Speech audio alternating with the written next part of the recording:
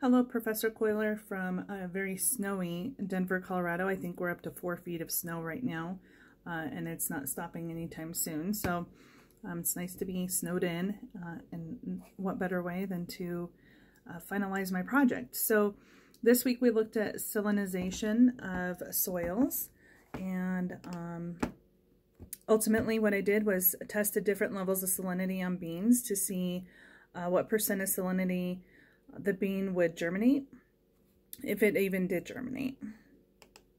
I did have a hypothesis that I created prior to the experiment, and based on my knowledge and understanding from the module, um, I hypothesized that a minimum of five beans would sprout to completion in the 0.0% salinity group. Um, I also believe that the salinity, salinity level was low enough in the 0.5 that I was expecting to see at least two beans sprout to completion in that group, the 0.5 group. And then I did not think I would see any beans sprout in any of the other Petri dishes uh, just due to the salinity levels um, and especially the 2.0 salinity level. So my variables, my controlled variable was that there were 10 beans in five different Petri dishes. Uh, those Petri dishes were kept at the same room temperature in a dark location, and uh, their weight remained the same throughout the experiment. The independent variable was that the salinity volume was different in each dish, and the dependent uh, variable was to see if the bean would germinate um, over an occurrence of five days and track the differences if there were any. So what I did was, um, you know, per the steps that was suggested, we placed 10 beans into each of the different Petri dishes and um, put paper towel in there sized appropriately. Each Petri dish was then labeled uh, 0, 0.0, 0 0.5, 1.0, 1.5, and 2.0. Then we prepared the saline solution and uh, after pouring the appropriate saline solution into each of the five Petri dishes, uh, each dish was then weighed. And then uh, we placed the, I placed the Petri dish in a box and I kept it in, um, I placed it in a box and kept it at room temperature in a dark place where they were not disturbed. Uh, then I added distilled water to each Petri dish at the end of every night to maintain its weight. And at the end of the fifth day, I recorded the results um, from the germination of each bean. So throughout the uh, throughout the experiment, then uh, we I, I looked at a couple of different uh, things that were going on, um, but to answer some of the questions that were asked, um, explain why salinization is a concern for agriculture around the globe. And so what I had indicated was that salinization is a concern as it slows the growth uh, the growth of crops as the crop is not capable of taking in water. Uh, we are supposed to see an increase in population by 2050, and an increase in population will require a higher need or demand for food. If we cannot produce the crops to feed the people, the effect could be detrimental to our global population. Rising sea levels are hurting the crops. Um, we're seeing higher levels of uh, salts along the coastal lines, and climate change is causing the rise in the sea levels, um, and then therefore it just becomes a cyclic problem.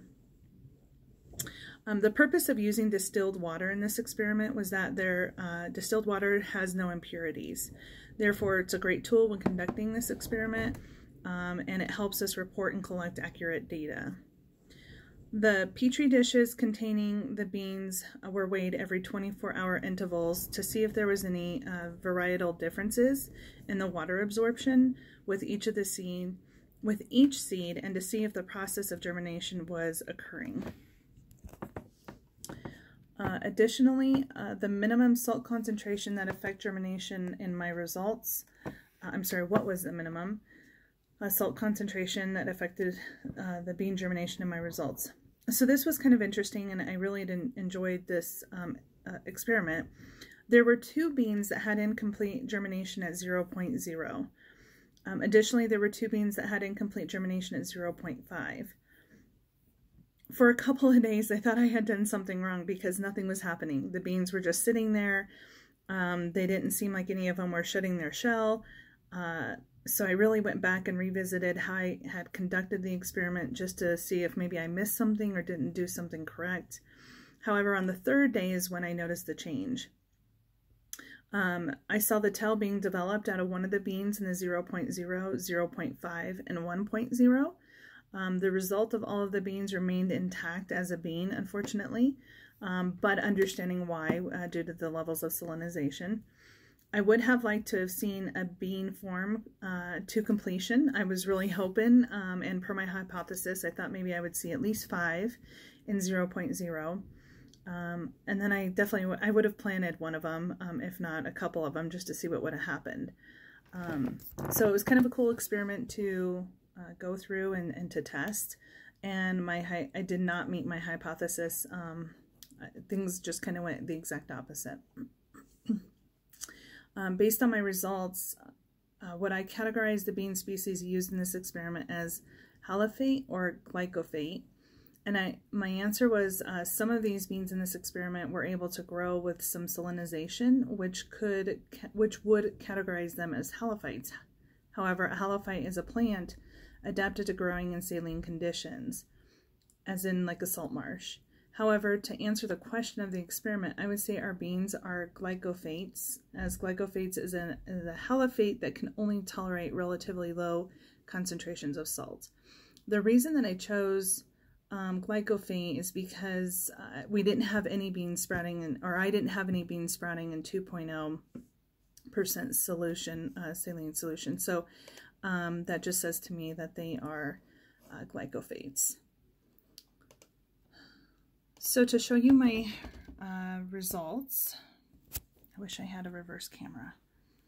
Um, and I have this in the slide deck for you as well, Professor. Um, let me see where, there we go. Uh, I have this in, in the slide deck for you as well, um, just kind of showing the results of the beans and especially the ones that I had noted as 0, 0.0 uh, who had started to sprout and 0 0.5 and 1.0. It was kind of cool to see them coming out of their shell a little bit, um, but unfortunately I did not have many uh, that did much of anything. And then uh, here are my overall results for the saline levels 0, 0.0 through 2.0. Um, so here are those results. Again, that these results will be in the PowerPoint slide. And then lastly, here is my data observation as it pertained to each each Petri dish, how many beans did what and at what level.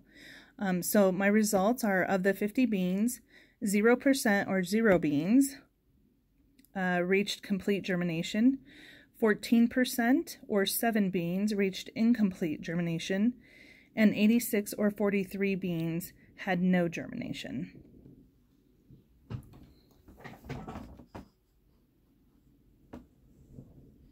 So in conclusion, uh, based on my hypothesis and results of the experiment, I do not have any beans from any of the Petri dishes that sprouted to completion.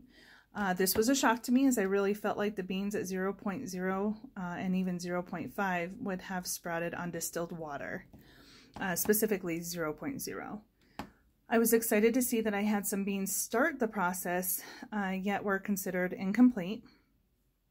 And I have learned that through the course of this module, certain plants have a salt tolerance. Uh, if that tolerance is exceeded, the crop will not be able to absorb water and therefore grow. I found a great article um, by Bojanovic and uh, his colleagues, uh, and he said salinity acts like drought on plants, preventing roots from performing their osmotic activity where water and nutrients move from an area of high concentration. Therefore, because the salt levels in the soil, water and nutrients cannot move into the plant roots. Um, thank you again for this experiment. I really enjoyed it and uh, let me know if you have any questions.